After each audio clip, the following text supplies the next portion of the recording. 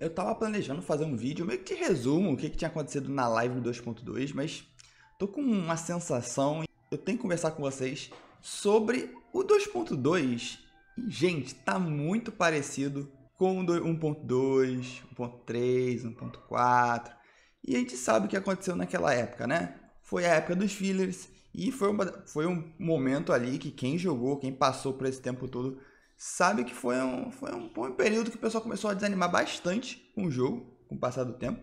E é, pelo que tudo indica, a época de filler voltou, tá? Você consegue ver claramente a fórmula da MiHoYo nessa atualização. Agora que a gente já tá nesse jogo com várias atualizações seguidas, né? A fórmulazinha da MiHoYo para toda atualização tá aqui bem clara, né? A gente tem um evento grande que é, no caso aqui, né, o evento do Tartaglia e da Xinian, tá? Então, sempre tem um evento grande numa atualização, esse é o evento grande da atualização. E aí tem vários pequenos, eventos pequenininhos, né? A gente tem aqui uma personagem que vai ganhar nova, a Xinian, padrãozinho também. O que tem de extra, vamos dizer assim, é um mapa. Eu acho que o que salvou né, essa atualização, na minha visão, de ser uma atualização full flopada, tá? Em questão de conteúdo, é ter um mapa novo. Então, pelo menos isso aqui ajuda. Se toda atualização tiver um mapa novo, mesmo que seja algo temporário, o Genshin sobrevive, tá? Porque é uma parte bem importante do jogo, a parte da exploração, né? Até pra, pra venda dele e tal, pro pessoal aguentar um pouco mais tempo. Né? Porém, assim, o que a gente viu, ah, teve coisinhas lá pro Bully, que vai ter bastante coisa nova, tem um eventinho lá, um eventinho aqui, isso aqui, sabe? É um evento, você vai fazer, acabou, não é algo que chama tanta atenção assim, vai ser divertido enquanto a gente vai fazer, e é isso, entendeu? Cadê o late game, né? assim, cadê o late game, Rui? O bicho não vai ter, e assim, esse é o lance. Será que a Rui vai surpreender a gente em algum momento, assim, com o conteúdo do jogo? Porque, ó, essa história aqui a gente já viu. Vai acontecer a mesma coisa? Vai, vai, o 2.2, 2.3, 2.4 vai ser igual 1.2, 1.3, 1.4. Se for igual, Será que vai ter mais gente que vai sobreviver? Porque lá naquela época, né, o pessoal ainda sobrevivia porque, né, tava no início do jogo e tal, a gente relevava, mas agora, se a gente ter uma temporada de filler, vai cair muita gente, vai ter muita gente saindo do jogo, o que é meio triste, né? A Miho tem que abordar os problemas mais na raiz do game, na minha visão. Botar alguma coisinha pro late game, mesmo que né, tenha o, o incentivo contrário, por causa das situações lá na China, os jogadores têm, têm pouco tempo para jogar, mas alguma coisinha para manter os jogadores mais antigos, porque pelo que está aparecendo, a forma que a MiHoYo está colocando os conteúdos, né, o que, que ela está focando com os comerciais, ela está focando em jogadores novos, o que para jogadores novos game está ótimo, né? Tipo assim, beleza, o que vai chegar aqui, ele vai demorar para sentir o problema do game, de ter falta, de faltar conteúdo lá no final e tal.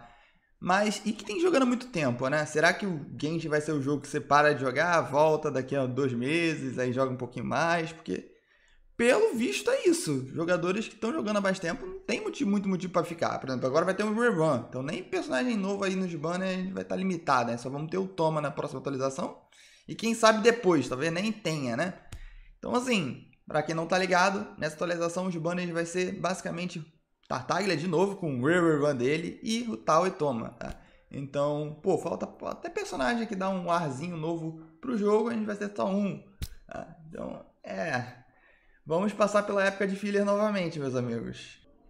Eu vi muita gente durante a live, até antes da live o pessoal não estava animado para 2.2. Durante a live também não vi muita gente animada, né? Eu achei legalzinha, sim, legalzinha a live, mas é a fórmula da MiHoYo, tá? A MiHoYo tá seguindo uma formulazinha e parece que a gente vai voltar para a formulazinha das atualizações filler, que não tem como se animar, tá ligado? É o padrão da MiHoYo. é tipo assim, é legalzinho, é isso. A gente vai passar por isso, vai ter os eventos que a gente vai terminar em segundos e acabou. E aí, Mihoyo, vamos surpreender a gente, sabe? pô, pô, por favor. Assim, eu tenho medo real de muita, muito jogador, tipo, old aqui do Genshin começar a dropar nas próximas atualizações. Gente. Medo real. Porque, pelo que a gente vê, é, provavelmente 2.4 não vai ter mapa novo. Então, assim, complicado. A gente vai voltar para aquela época complicada, né? E, cara, se a Mihoyo não abordar os problemas na raiz do jogo, resina, provavelmente não vai mexer, mas ter um elite gamezinho, ficar complicado.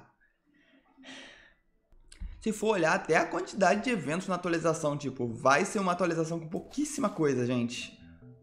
Pouquíssimo evento, vai ter aqueles momentos lá que não vai ter nada para fazer. Nossa. Vamos ficar na sede aqui, vamos ficar na sede.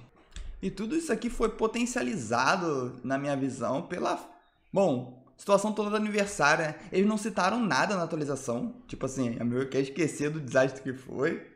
Não tivemos nenhuma tinha gente com esperança de recompensa ter recompensa mais durante a live. Não tem, não vai ter, esquece. Aniversário foi o flop que foi. É isso. Assim, parece que é essa a direção mesmo que a MiHoYo quer levar o jogo. Full casual, sem nada para quem tá jogando há mais tempo. Então, é isso. É, eu mantenho minha recomendação, que eu já comentei em vários vídeos, assim. Genshin é um jogo extra que você joga ali, caso você tenha tempo, né? Tal não, não custa muito tempo, diário, então é bom nesse sentido.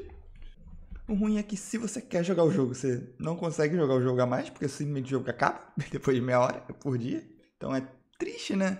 Você não poder investir mais tempo, você quer curtir o joguinho, não dá. E aí enjoa, porque não tem coisas novas acontecendo assim. Te anime, te dê um desafio. Eu tenho que ver isso, cara, porque é, é muito louco ter um jogo que não tem late game. E tem já um ano, o jogo já tem um ano e o jogo não tem late game. Tipo, é muito louco você parar pra pensar numa parada dessa. Muito louco. A gente tem um late game meia boca que é o abismo, que é tipo, quatro desafios lá e acabou. Sabe? É muita loucura isso. É muita loucura. Eu tenho que resolver esse negócio. Não tem como. Cria uma qualquer coisinha aí, cara, pra servir como um desafio que você possa ficar repetindo no final do jogo, só pra brincar, sei lá, bota ranqueamento, ponto, qualquer coisa, Mihoyo. Qualquer coisa já serve tá precisando para ocupar o tempo, né? Ocupar o tempo. Se a pessoa quiser usar, quer jogar Genshin, pode jogar. Não precisa esperar a resina encher de novo, tá ligado?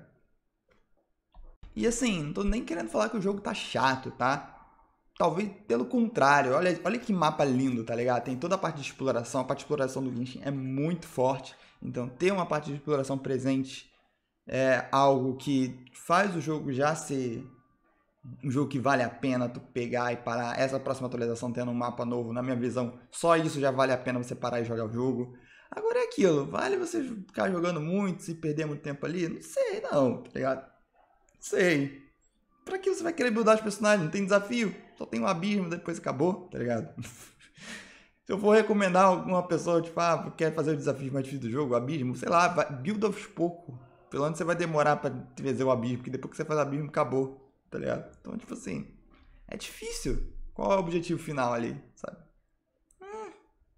E assim, eu entendo totalmente que essas minhas críticas é muito na perspectiva do jogador que tá jogando mais tempo, que gosta de ver um desafio, né? Quer, quer ficar melhor e melhor, montar um time melhor e melhor no jogo. E assim, pra quê, tá ligado? Não tem, não tem. Você não vai usar pra nada.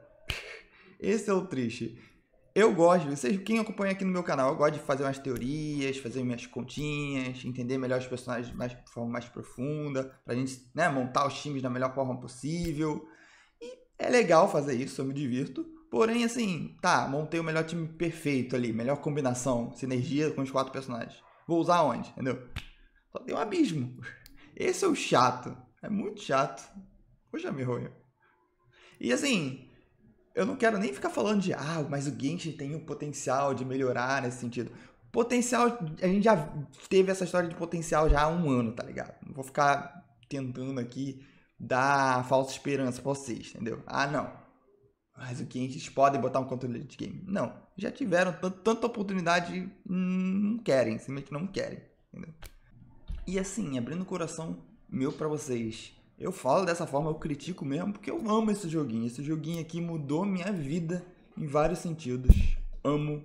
E é triste, tá ligado? Você chegar num ponto que tu nem consegue mais jogar o jogo. Não tem como me animar.